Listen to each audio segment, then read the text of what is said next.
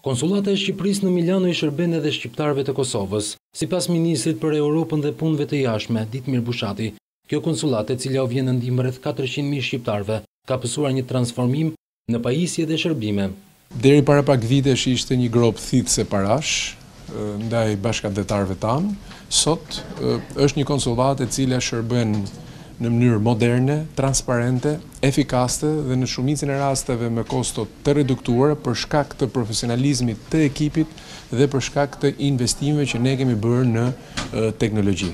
Zyra konsullore shërben edhe për informacione mbi zhvillimet në Shqipëri, si dhe çka ofron vendi për të tërhequr investitorë e turistë.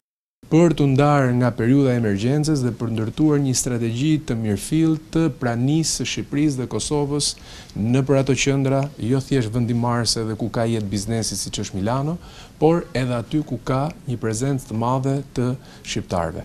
E fundit, por jo më pak e rëndësishme, këtu në Milano ne nuk kemi të bëjmë thjesht me një konsullatë të Shqipërisë dhe të Kosovës, me një konsullatë përbashkët. Kjo është shtëpia e shqiptarëve. Në zyrën konsullore qytetarët shqiptarë kanë mundësi të marrin dokumente pa pasur nevojë të udhëtojnë në vendin e tyre. Në fillim të këtij viti është dixhitalizuar i gjithë aktiviteti konsullor nga përfaqësi diplomatike, duke ofruar tridhjetë e gjashtë shërbime online.